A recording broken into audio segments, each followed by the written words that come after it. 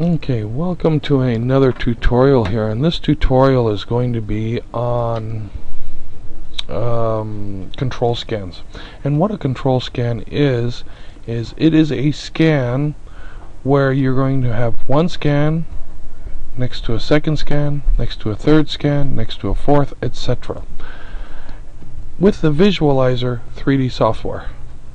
The nicest thing you can do with this is you can open up multiple instances of your software. So, for example, um, what I'm going to recommend here is that you put all of your so stuff in a folder, as we have here. Okay, and in this folder, you can have multiple instances right next to each other.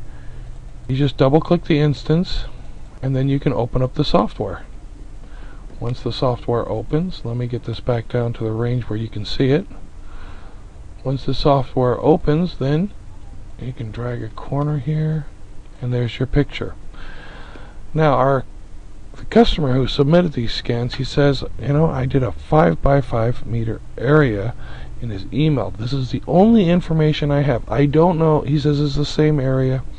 So I'm going to push the F9 key and I'm going to say this scan here happens to be a 4 and we see he used an evolution and we're going to go 5 meter by 5 meter. I don't know the soil type. I can push OK and you see it changes the view here. I'll hit this little plus symbol to expand it. So I see this is what it looks like which looks like a very possible viable target all by itself. Okay um, let's see how many rows did he do. Let's count them this is the first row second, third, fourth, fifth. We have six rows.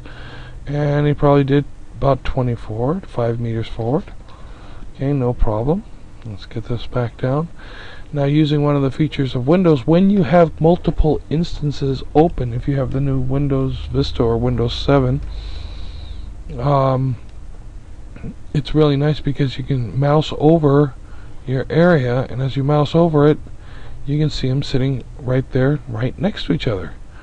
And I'm going to mouse over here and say there's number one, two, three, four. Well, if these all have the exact same starting and stopping points, there is nothing to compare. This would be either a user error or you're looking at pure mineralization. So you really have to make sure you keep your antenna straight, that you use the best methods possible, parallel, to always have the same starting point. So your starting point is always here, go all the way through, keep it straight. Come back to the beginning, go to the left, and that way you can put more than one scan next to each other. When you have these scans next to each other, you can see it. Is it the same? Is it completely different. Because the way I look at it, a real target won't move. Alright? I am available for training and consulting. You can call me if you like at OKM. Our factory number is Germany. It's plus four nine three four four seven is the area code. Eight nine one two six zero.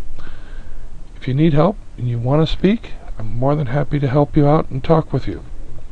Um, we have other technicians here who can also assist in the event that I'm not available. Your success is our success. Okay. Um, I hope that you, you enjoyed this little tutorial and that it helps and benefits. Thank you.